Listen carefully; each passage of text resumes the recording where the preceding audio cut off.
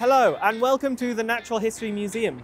Well, I want you to join me on a tour of this incredible building where we'll be exploring some of the lesser known and often overlooked LGBTQ plus stories of some of the 80 million plus specimens held behind those doors. Now, this video is a little different to usual. At the end, you will get a choice in which you can choose to watch the tour from start to finish in one go, like a normal video, or you'll be able to choose which specimens you want to see next by clicking on the choices at the end of each short video.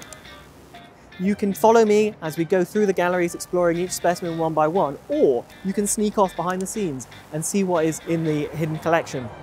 The choice will be entirely yours.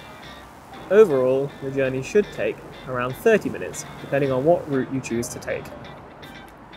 Now, there are a few house rules, so just bear with me. I will be using terms such as gay, lesbian, and queer when talking about the animals and describing the behaviour, which has its own issues and its own problems.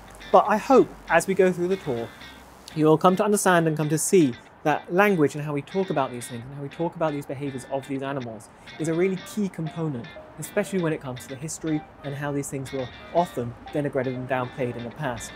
So if you're ready, follow me.